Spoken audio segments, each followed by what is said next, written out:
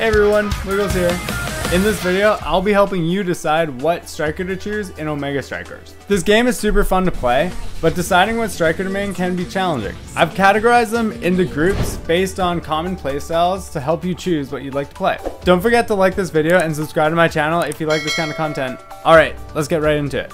So to start off the list, let's go with the most obvious ones, the best goalies. These are the defenders, these are the ones that are best under pressure. In this list, I put Dubu, Atlas, and Asher. It's not much to debate here, they're by far the best goalies in the game.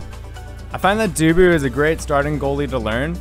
All his skills are great at stopping the ball. The next category is what I like to call the speedy strikers. So these are the ones that are quick, they have fast movement speed, are really quick at striking as well. This would be the players like Kai, Juliette, Era, Luna, Drek'ar, and Juno. These ones are my favorite to play. I really like Kai, Era, and Drek'ar's movement speed buff. The next category is the Burly Brawlers. Burly Brawlers have an easier time knocking out other strikers off the map. So this would be X, Juliette, Estelle, and Era. Always be careful on the edges of the map when these strikers are on the field. Next we have the skilled snipers. These are the ones that specialize in long range shots. Some of these strikers can take more skill, but once you learn it, it definitely pays off. The snipers I put in were Luna, Kai, Drek'ar, Era, Juno, and Estelle. Estelle has two long range spells, which can put a lot of pressure.